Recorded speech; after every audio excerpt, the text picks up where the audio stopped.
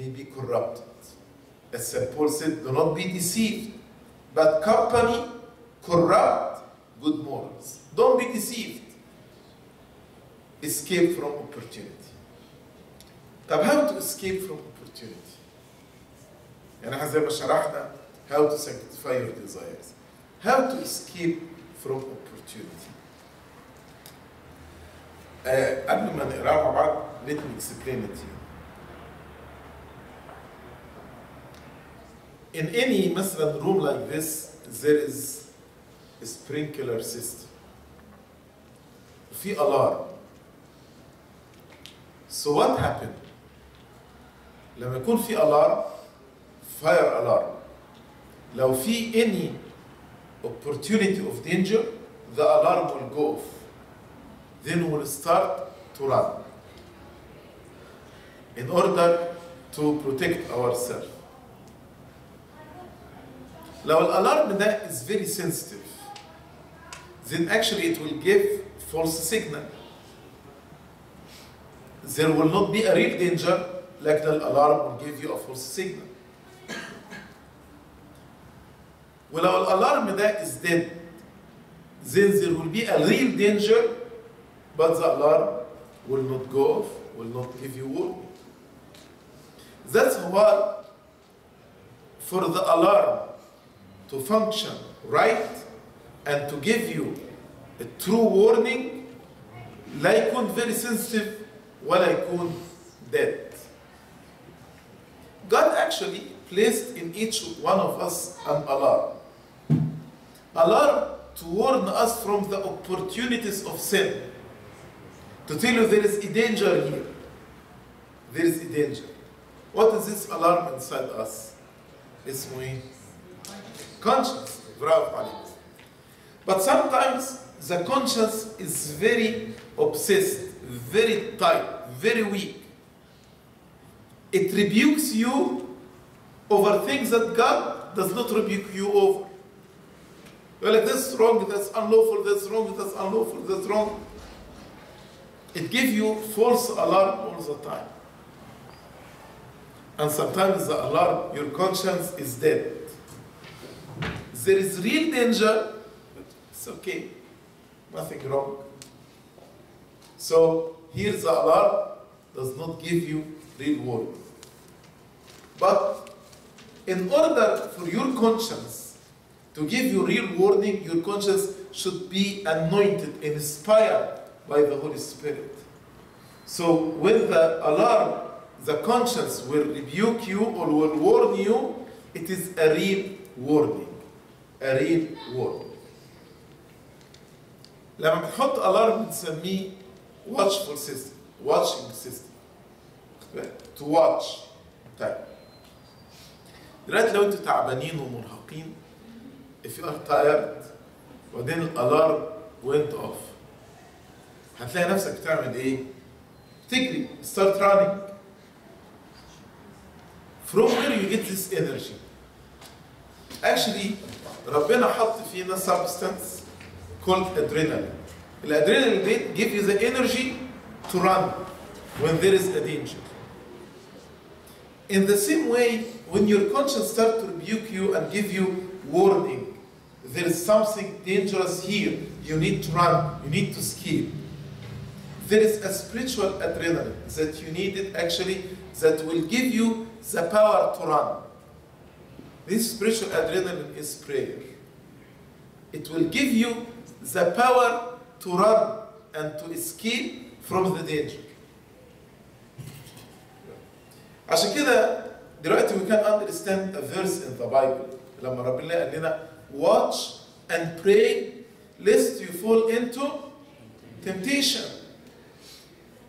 احنا قلنا in order to avoid temptation you need to avoid you need to avoid opportunities. You need to escape from opportunities. How to escape from opportunity? You need to have watchfulness. Watchfulness is the alarm system. And then you need to run. How, how you, you, you get the power to run? It is through prayer. That's why Rabbana like, watch and pray lest you fall into temptation. عشان كده the word flee or escape from temptation implies there is a danger that you need to avoid. And the only solution to avoid this danger is to escape, to run. And the Lord instructed us to watch and pray lest we enter into temptation. In order not to enter into temptation, we need to escape. And what our tools here? Prayers and watchfulness. Watchfulness to be warned that there is danger. And prayer will give you the power to run. But usually مثلا لو في هurricane الناس they don't run كده بيروحوا في الستريت they have to run into what? Into a shelter. Right? So if there is a danger, you need to run into a safe place. What is the shelter here? When we run, to whom we should run? Actually, it is the name of the Lord Jesus Christ. In Proverbs chapter 18 and verse 10, you're like, the name of the Lord is a strong tower, like a shelter. The righteous may run into it and is safe. So when there is a danger and you want to run, you want to escape, call on the name of the Lord Jesus Christ. My Lord Jesus Christ, save me. My Lord Jesus Christ, help me. My Lord Jesus Christ, support me. Call on the name of the Lord Jesus Christ. The name of the Lord is a strong tower. The righteous man runs into it and is safe. St. John the short or the dwarf, when he went to lead Baisa to repentance, she was living a sinful life. What did he do? He asked the monks to pray for him. Why? Because he was afraid to be tempted. That's why he want actually that the, the prayer and to be watchful. And through watchfulness and prayer, actually he avoided uh, or escaped from falling into temptation. Pray and be watchful. Mention the name of the Lord, and you will escape any opportunity for temptation. You might tell me, but there are some opportunities I cannot escape. Like مثلا Joseph in the house of Potiphar. He's working there, and his master's wife is after him. So how can he run? How can he escape? And he is a slave. Even he cannot set him, uh, himself free. So what should he do? Then actually, here we need to work on the third component. What's the third component? My first component can be Desire. Desire. Second component? Opportunity. Opportunity. Third component? Action. action. So actually we need to work on the third component, which is action. What do we need to do with actions? Is to develop self-control. To be able to say no, even if I am tempted. Even if there is money here and I'm tempted to steal it, I have to be, to be strong enough and powerful enough to be, to be able to say no, you will not take this money. This money is not yours. So if you cannot escape all your opportunities, the evil is surrounding us everywhere. And if my desires are not totally sanctified yet, and there are opportunities that I cannot escape, then I need to control my actions. Develop self control. You need to learn how to say no to temptation. No, I will not do it. That is self control. But again, how to develop self control? One of the best tools to develop self control is what? Fasting. Why? Fasting, you say to yourself, no, أنا مش هاكل الأكل ده. I am fasting now. This actually, why was the church asking us to fast? In order to develop self control. Remember that sin equal temptation plus action. So, when you develop self control, you will stop temptation from growing into sin. When you develop self control, you will stop temptation from growing into sin. Self-control is the fruit of the Holy Spirit. When you read Galatians 5, 22 and 23, the fruit of the Spirit is love, joy, peace, patience, kindness, goodness, faithfulness, gentleness, and self-control. So actually, if you are filled with the Spirit, and if you submit to the Holy Spirit, then you will bear the fruit of self-control. If you don't have self-control, you will tempt it easily. Read this verse, Proverbs 25, 28. You're like, a man without self-control is like what? It's like a city, broken into and left without walls. So self-control is the fence, is the walls that protect my soul. So if I have no self-control, I'm like a city without walls and broken into. Satan and all his soldiers will break into my heart. Even for the married people, St. Paul actually advises them to exercise self-control. Alone, Kedah, do not refuse one another. He's speaking about the marital relationship. Do not refuse one another, except perhaps by agreement for a season, that you may devote yourself to fasting and prayer but then come together again.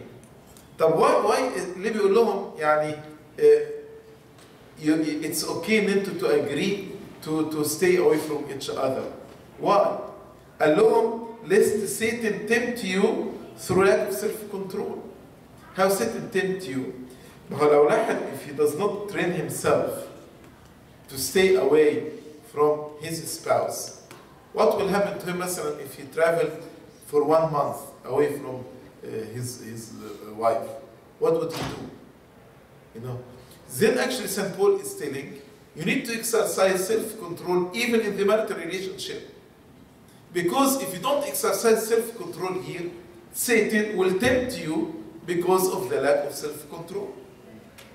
But again, when you are exercising self-control, what will help you to exercise self-control?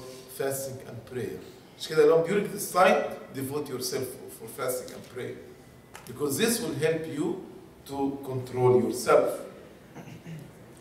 So it's clear from this verse that fasting is the tool that you need to develop self-control.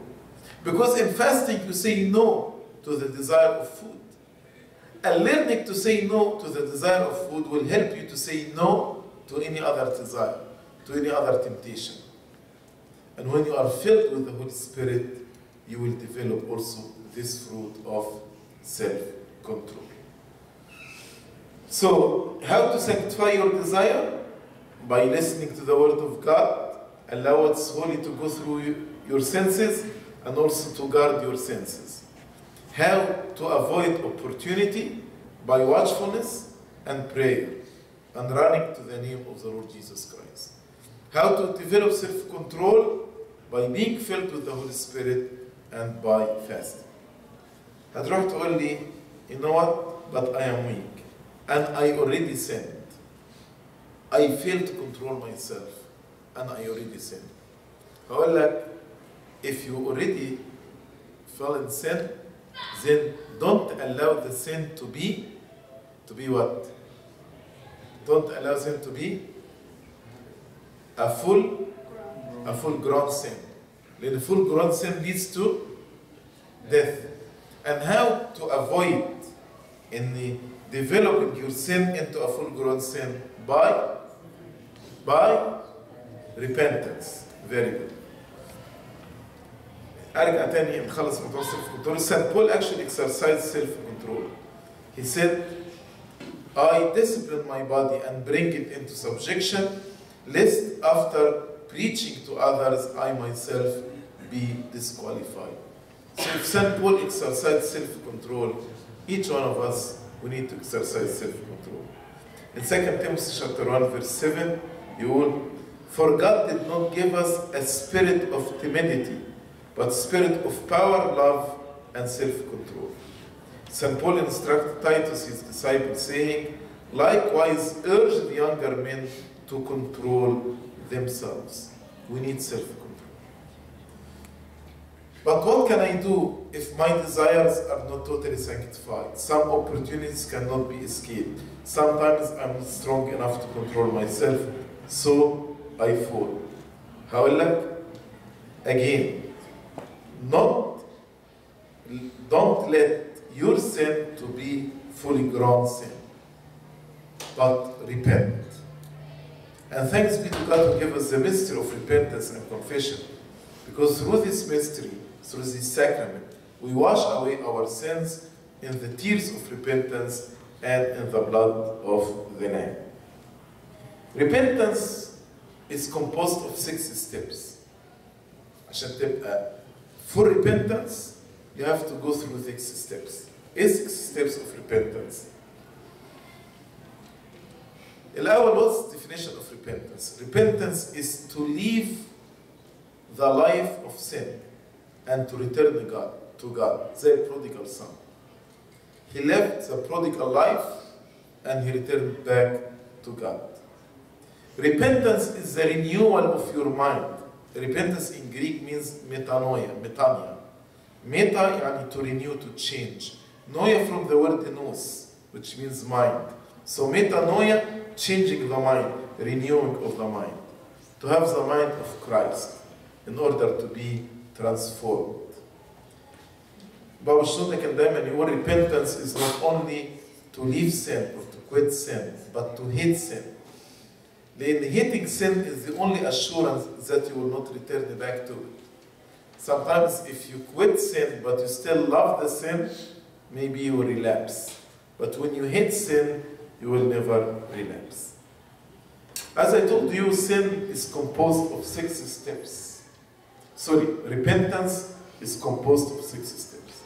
ايه six steps دول؟ أول حاجة to admit, to acknowledge your sins and your shortcoming. To say, yes, I have sinned, like the prodigal son, like David the prophet.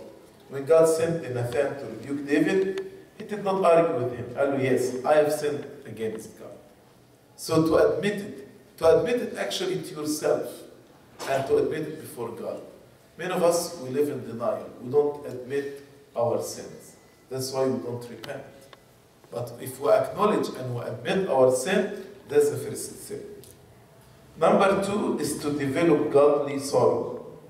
To develop godly sorrow, to regret, to be remorseful from your heart that you disappointed God by your actions. Like St. Peter, he wept bitterly. In 2 Corinthians chapter 7, St. Paul Yul, godly sorrow leads to produces repentance, leads to salvation not to be regretted. Godly sorrow produces repentance, leads to salvation not to be regretted. But the sorrow of the world produces death. So there is two type of sorrow, two type of grief, two type of remorse. Godly sorrow and the sorrow of the world. How can you differentiate? When you are sorrowful over a sin, how can you differentiate whether this sorrow is the godly sorrow or the sorrow of the world? Uh, the sorrow of the world is without hope, but sorrow with godly sorrow, you have hope in Christ that He will forgive you. Very good. أول حاجة إن godly sorrow usually has hope إن God will be forgiving you. لكن the sorrow of the world like sorrow of Judas there is no hope. يبقى دي نمبر نمبر واحد. إيه تاني؟ Number two. The godly sorrow is initiated by the Holy Spirit. But the sorrow of the world is initiated by the ego. What do I mean by this?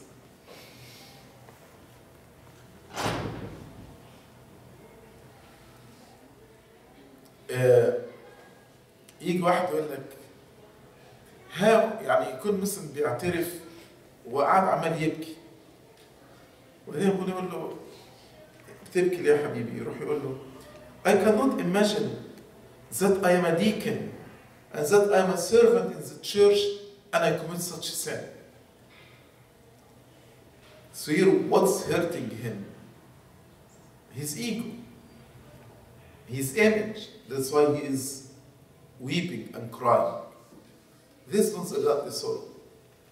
But the, the godly sorrow actually, as we say in the fraction, be sorrowful, O my soul, over your sins that caused to your Savior all this pain. It's not about me. It's not about God, whom I hurt with my sin.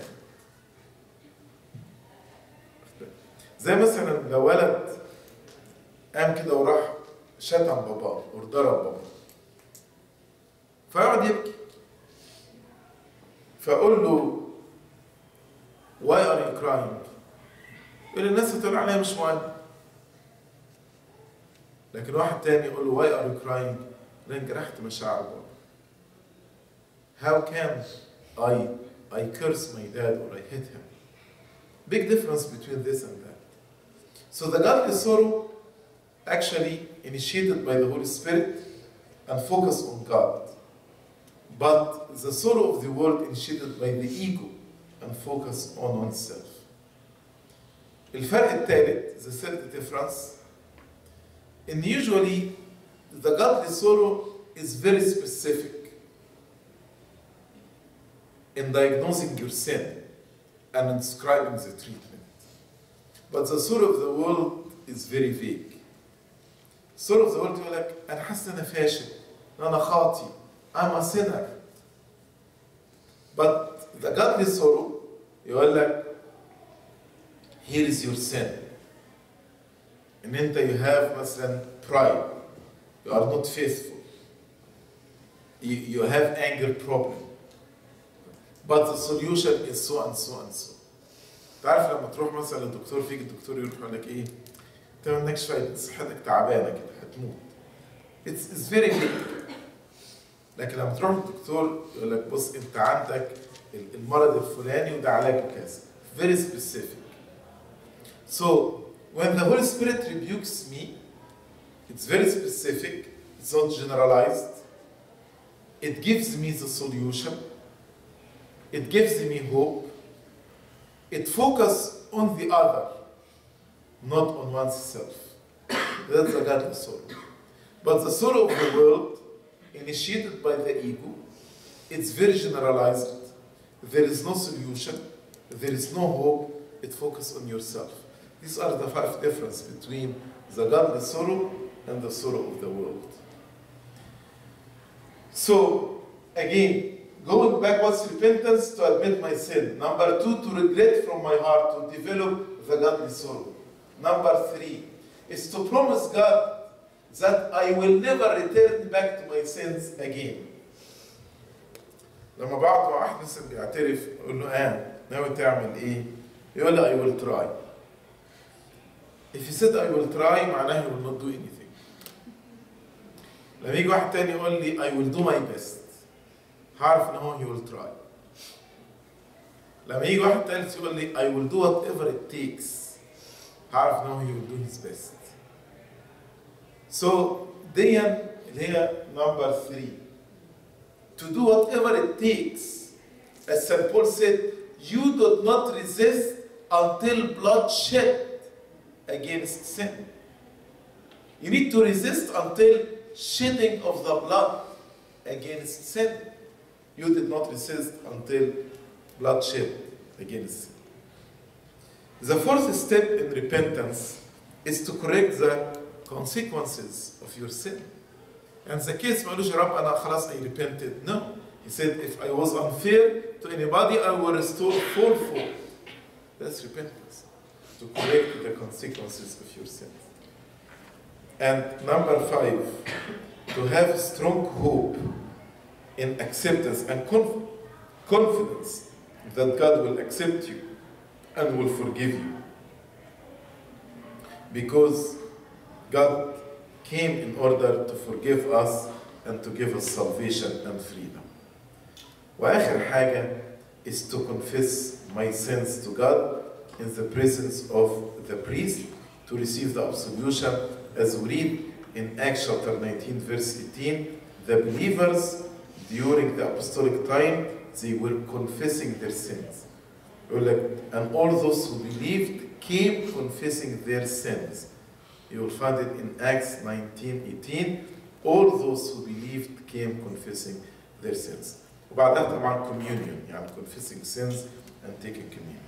يبقى the six steps of repentance is to admit my sin, develop godly sorrow, promise God that I will not, not return back, uh, correct the consequences of my sin, have confidence and hope in the forgiveness and the acceptance of Christ, confess my sins, and take communion.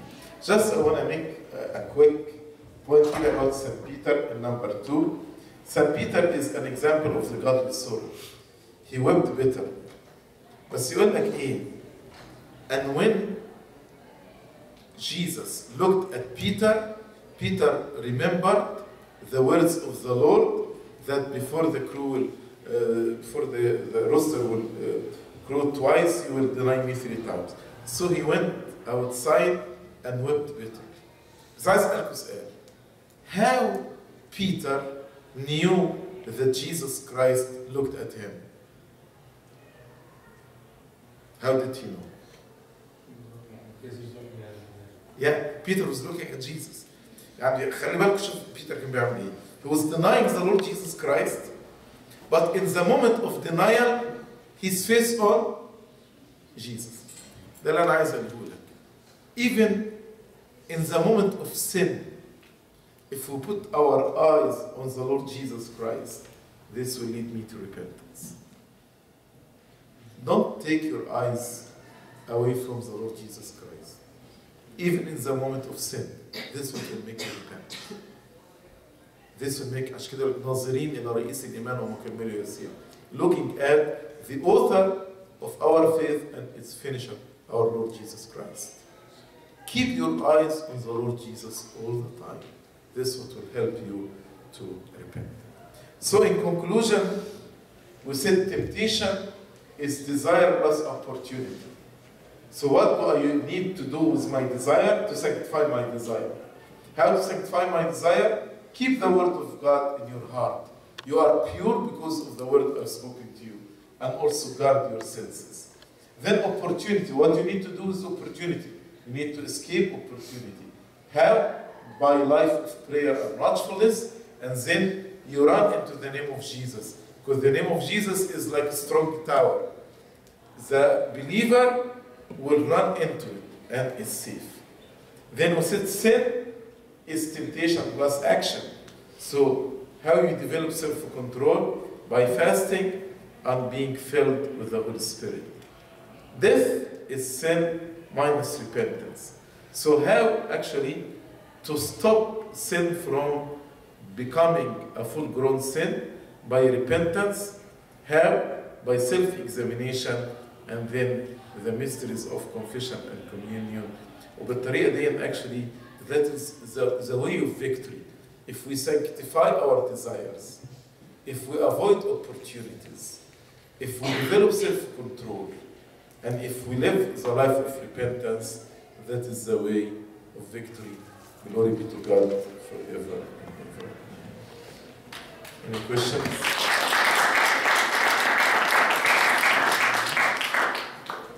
Any questions?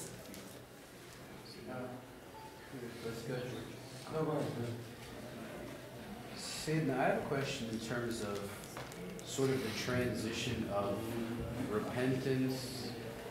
Like when you repent, has the Lord forgiven you for your sins? Or are the sins forgiven, not forgiven until you go to confession and you're absolved? The, all our sins are forgiven during the time of the crucifixion of our Lord Jesus Christ. But I receive this forgiveness when I repent. When I repent, I receive this forgiveness.